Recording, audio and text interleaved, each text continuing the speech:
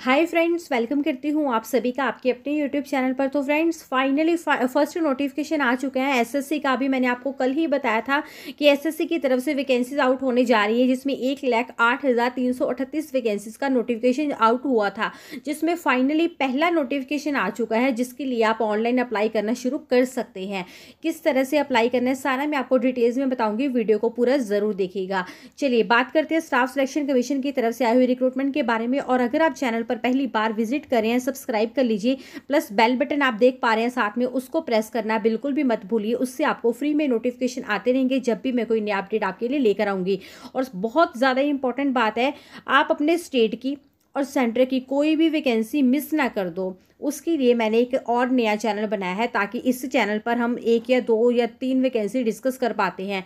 तो आपके स्टेट की वैकेंसी भी आपको टाइम पर पता चल पाए और सेंटर की भी। उसके लिए हमारा दूसरा चैनल जिसका लिंक आपको इस वीडियो के डिस्क्रिप्शन में जाकर मिल जाएगा, उसको भी ज़रूर सब्सक्राइब कर लेना। उसके साथ भी बेल बटन ज़रूर प्रेस करना।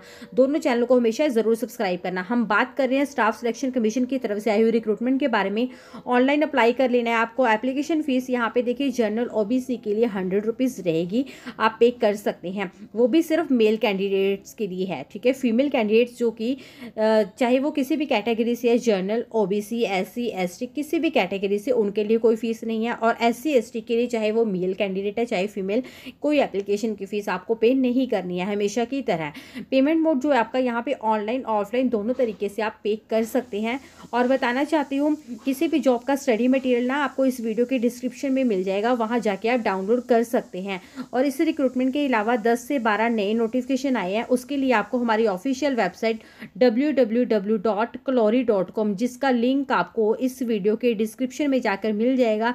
वहाँ जाके सारी इन्फॉर्मेशन ले सकते हैं। फ़िलहाल हम बात कर रहे हैं रिक्रूटमेंट की एसएससी की। इसमें जो वैकेंसीज अभी आउट हुई है एलडीसी की, यानी लो डिवीज़न क्लर्क की, जो हम फ़र्स्ट नोटिफिकेशन की अभी बात कर जो अभी आ चुका है, ठीक है? जूनियर असिस्टेंट की सोर्टिंग असिस्टेंट पोस्टल असिस्टेंट और डीईओ यानी कि डेटा एंट्री ऑपरेटर की। ये बहुत इंपॉर्टेंट लिंक है। यहाँ क्लिक करके आप लेटेस्ट वैकेंसी चेक कर सकते हैं। यहाँ पे स्टडी मटेरियल डाउनलोड कर सकते हैं। इंपॉर्टेंट डेट्स की बात कर लेते हैं। अप्लाई आप कर सकते हैं तीन दिसंबर 2019 से। लास्ट तारीख जो अप्लाई करने की इन्होंने बता दी है, दस जनवरी 2020 है। वही जो है एप्लीकेशन फ़ीस के लिए बता रखी है लास्ट डेट अभी जो वैकेंसी आउट हुई है ये ट्वेल्थ पास वालों के लिए हुई है और ग्रेजुएशन वालों के लिए। टेंथ पास की भी अभी आनी है, जैसे आएगी वो भी मैं आपको बता दूँगी।